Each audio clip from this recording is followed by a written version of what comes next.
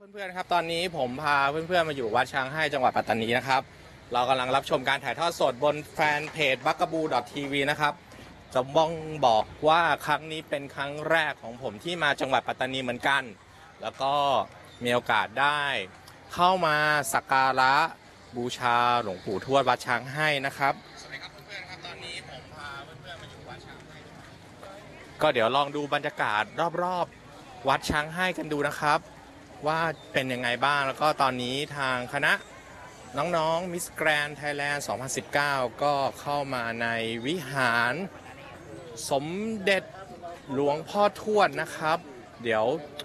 ผมอยากให้เพื่อนๆชมบรรยากาศก่อน แล้วก็ เดี๋ยวค่อยมาสัมภาษณ์น้องๆกันนะครับ ว่าเป็นยังไงบ้าง ลองดูนะครับก็จะมีชาวบ้านเข้ามาให้กำลังใจน้องๆ มีพี่ๆทหาร พี่ๆตำรวจนะครับ มาคอยดูแลรักษาความปลอดภัยให้ ตอนนี้ก็จะมีตัวแทนจาชาวบ้านเขาขอ มาขอถ่ายรูป กับน้องมิสแกรนจังหวัดปัตตานีนะครับ เดี๋ยวผมกับทีมงานก็จะพาเพื่อนๆให้เห็นบรรยากาศรอบๆวัดนะครับว่า มีความน่าสนใจยังไงบ้างนะครับเผื่อเพื่อนๆคนไหนอยากจะเข้ามาเที่ยวชม วัดช้างให้ที่จังหวัดปัตตานีผมเชิญชวนเลยครับว่าผมเข้ามาแล้วสวยงามมากนะครับ และผมเชื่อว่าหลวงปู่ทวดทุกคนสักการะบูชาหลวงปู่ทวดแน่นอนครับ ผมก็คนหนึ่งนะครับที่สักการะหลวงปู่ทวดเป็นประจำลองดูบรรยากาศรอบๆนะครับ ตอนนี้น่าจะมีทางทีมงานนะครับ จุดประทัดเพื่อ ความเป็นสิริมงคลให้กับชีวิต จะได้มีเสียงดัง มีชื่อเสียงกระจายกระจาย มีความเจริญรุ่งเรืองในหน้าที่การงานนะครับ เดี๋ยวผมก็จะพาเข้าไปครับนี่คือน้องจังหวัดมุกดาหารนะครับเดี๋ยวผมจะพาเข้าไปเดี๋ยวลองดูบรรยากาศรอบๆได้เลยครับ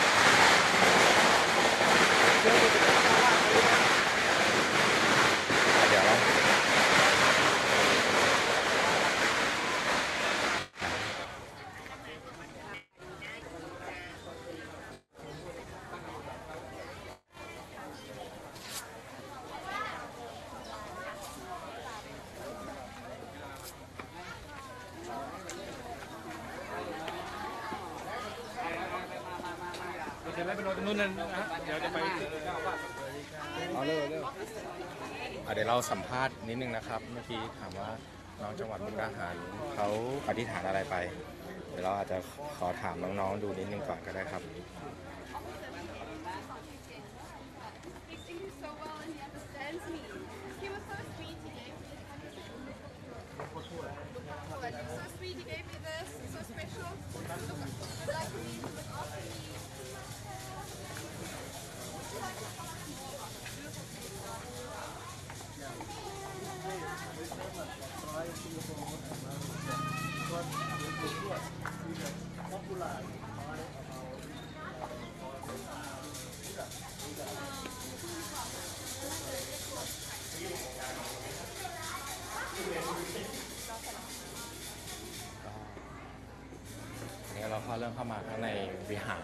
วงปู่ทวดแล้วนะครับ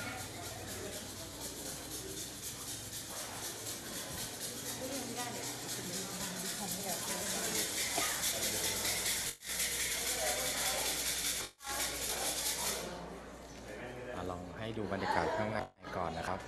น้องๆก็เข้ามาเสียงเซมซีกันข้างใน อันนี้คือวิหารด้านใน วิหารของหลวงปู่ทวดนะครับางในมีความร่มรื่นมากครับผมเชื่อว่าน้อยคนนะครับที่ได้เข้ามาสัมผัสบรรยากาศเพราะว่ามีความกลัวกับความไม่ปลอดภัย แต่ว่า ที่ผมมาอยู่ที่จังหวัดปัตตานีแล้วก็เข้ามาใช้ชีวิตอยู่ที่นี่สองวันผมว่าบรรยากาศเรียบร้อยสวยงามมากครับ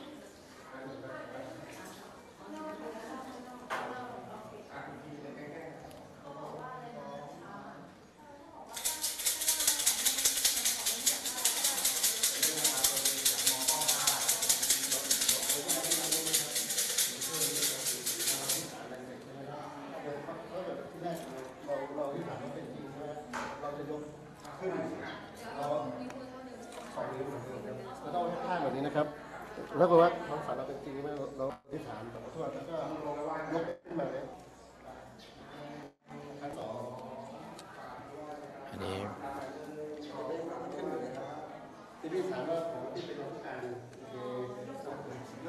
ที่เป็นครั้งแรกอธิษฐานเหมือนกัน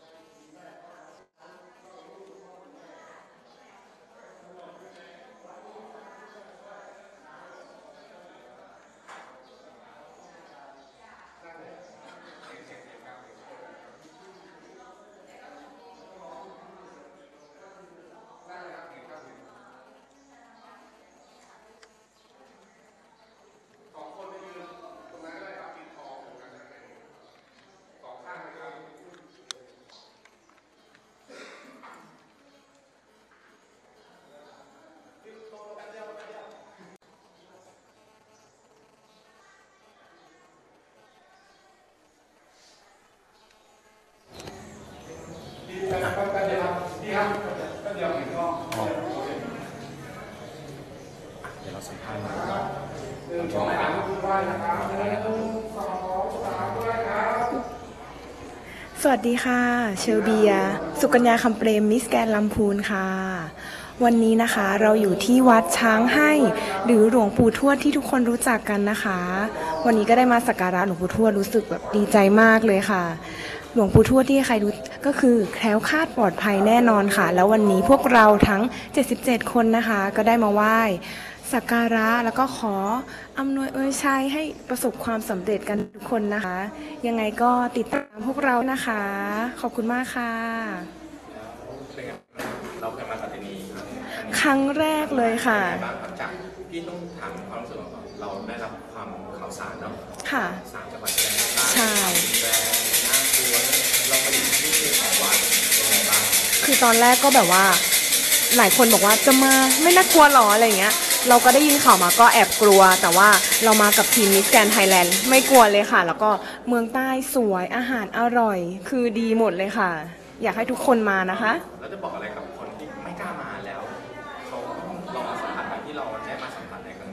ใช่ค่ะ อย่าเพิ่งแบบว่ามองแต่ภายนอกหรือว่ารับข่าวสารที่ไม่ดี อยากให้ทุกคนต้องลองมาจริง ๆ ค่ะ คนใต้น่ารักนะคะ แล้วก็แบบว่ายิ้มแย้มแจ่มใสให้การต้อนรับอย่างอบอุ่นเลยค่ะ ยังไงก็ขอให้มานะคะ รับรองอยากมาอีกแน่นอนค่ะ ขอบคุณค่ะ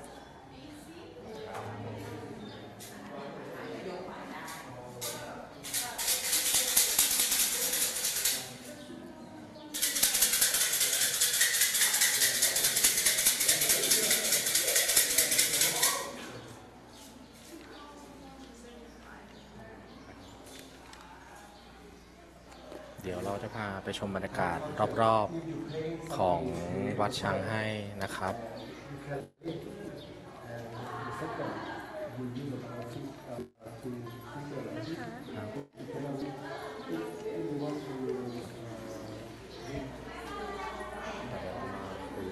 น้องบึงการนะครับ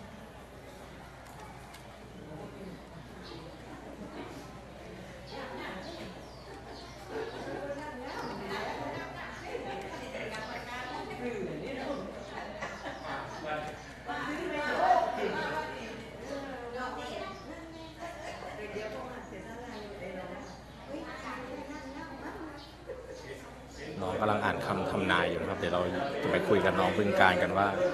เขาอธิษฐานว่ายังไง แล้วก็คำทำนายที่เขาได้จะเป็นยังไงบ้างเดี๋ยวเดี๋ยวรอรอรอสักครู่ครับรอสักครู่รอสักครู่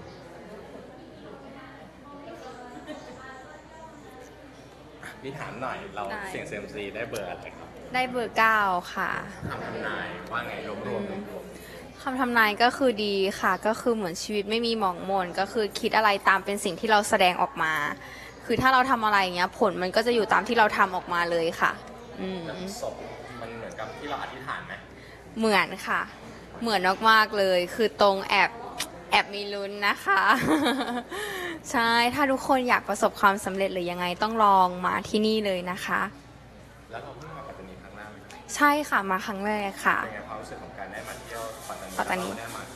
่วัดช้างให้ ค่ะ คือมาครั้งแรกคือเราด้วยความที่พอเรามาคือชาวพี่น้องที่นั่นคือต้อนรับดีมาก ทุกคนสงบสุข แล้วก็ที่สำคัญเลยเวลานั่งรถผ่านมาแต่ละที่เนี่ย ทุกพื้นที่คือสะอาดหมดเลยเงียบสงบมากค่ะน่ามามากๆอืม แล้วพี่พี่อยากให้เราลองเชิญชวนเพื่อนๆที่เขาไม่กล้ามาให้เรามาเที่ยวที่นี่แบบค่ะอย่างตัวไข่มุกเนี่ยก็มาที่ปัตตานีครั้งแรก ไข่มุกคิดว่ามันไม่ได้น่ากลัวเลยอย่างที่เราดูข่าวกันเนี่ย คือมันเป็นแค่ช่วงเวลา ก่อนๆแต่ตอนนี้คือมันไม่เหมือนเดิมแล้ว ตอนนี้คือมันเปลี่ยนไปมากแล้ว อยากให้ทุกคนลองมาที่นี่ อยากให้ทุกคนรู้ว่าที่นี่อบอุ่น แล้วก็มีความสุขมากจริง ๆ สถานที่เที่ยวมีเยอะแยะมาก อยากให้ทุกคนได้มานะคะ ขอบคุณค่ะมาครับเดี๋ยวมีพี่คนเดี๋ยวเราไปดูบรรยากาศรอบๆภายนอกวัดกันครับ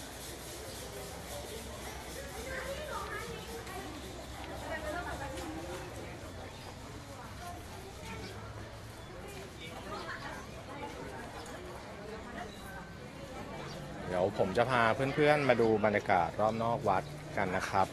ว่าที่นี่มีความสงบร่มรื่นยังไงบ้าง ผมเองก็เพิ่งมาครั้งแรกเหมือนกันต้องบอกว่าผมตื่นเต้นตื่นเต้นมากครับ บรรยากาศวัดโดยรอบก็เงียบสงบครับไม่ได้แล้วเดี๋ยวเราพาเข้าไปดูข้างในมีน้องมิสแกรนสองคนกลุ่มหนึ่งกำลังถ่ายวิดีอาอยู่ข้างในนะฮะ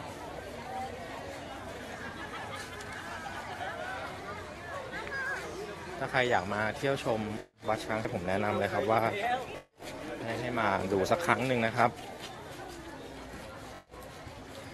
เนี่ยครับลองดูครับเนี่ยเราพาเข้ามาดูบรรยากาศรอบๆ ผมกับทีมงานจะพาเพื่อนๆได้เห็นบรรยากาศรอบๆ ของวัดนะครับ ว่าเป็นยังไงบ้างอย่างอุโบสถที่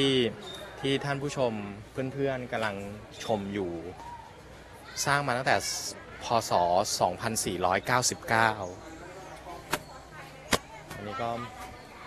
มากกว่า 50 ปีแล้วนะครับ กับอุโบสถหลังนี้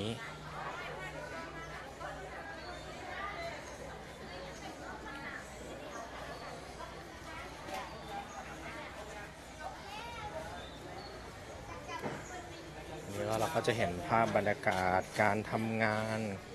ของน้องๆมิสแกรนไทยแลนด์นะครับ แล้วก็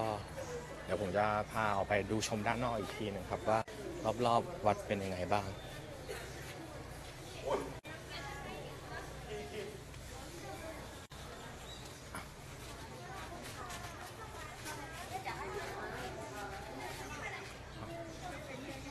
ไปครับ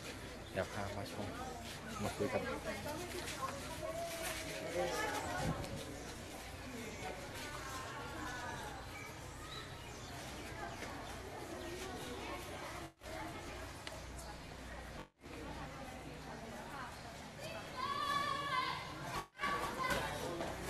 อีกครั้งหน่อย ได้ไหมครับ ขอขอสัมภาษณ์หน่อยอันนี้เราเป็นคนปัตตานีปะครับ เป็นครับ เป็นนะครับอันนี้เราชื่ออะไรเอ่ย คิดครับชื่อคิดเรียนอยู่ปอแล้วนะปสามครับปสามเป็นไงบ้างคิด ครับ จะบอก พี่ๆที่เขาชมอยู่ว่าปัตตานีน่าเที่ยวยังไงบ้างครับ มีวัดเยอะครับแต่เป็นที่สักการะบูชาครับ อืมเป็นที่หลวงพ่อตวดอืมครับ หลวงพ่อตวดสร้างวัดนี้มาครับ อืมแล้วนอกจากวัดของหลวงปู่ทวดแล้วมีที่เที่ยวที่ไหนอีกบ้างปะครับ มีครับมีที่ไหนเอ่ยคิดรู้ไหมดูครับอ่าบอกได้เลยครับที่บ้านตะหน่วยครับ อืมเขากำลังทำที่มีบ้านต้นไม้ อืมมีมีแพอืมแล้วก็มี เปรในน้ำครับ อืมวันนี้ทางพี่ๆมิสแกนมาที่นี่ดีใจไหม ดีใจครับ เป็นไงบ้างความรู้สึกเจอพี่ๆเขาเป็นไงบ้างคิดรู้สึกยังไงบ้างครับรู้ที่เขาสึกอ่าดีใจครับ ดีใจ อยากแถมให้ได้ อ่า อยากได้จับมือด้วยครับ ได้จับมือด้วยเหรอครับ เป็นไงบ้าง มีคนมาเที่ยวที่นี่เยอะไหมกับเยอะครับ ใช่ไหมครับ ครับ ที่นี่ปลอดภัยไหมครับคิด ปลอดภัยปลอด ภัยใช่ไหมครับ ครับ โอเค ขอบคุณคิดมากครัขบอบคุณครับ ครับออกไปข้างนอกเลยครับ เดี๋ยวให้ทีมงานผมพาพาไปข้างนอก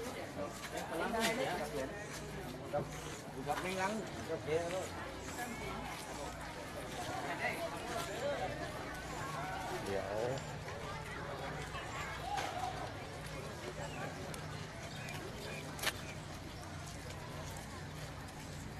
ก็บรรยากาศในการเข้ามาสักการะบูชาหลวงปู่ทวด ในวันนี้ผมว่าเพื่อนๆก็น่าจะเห็น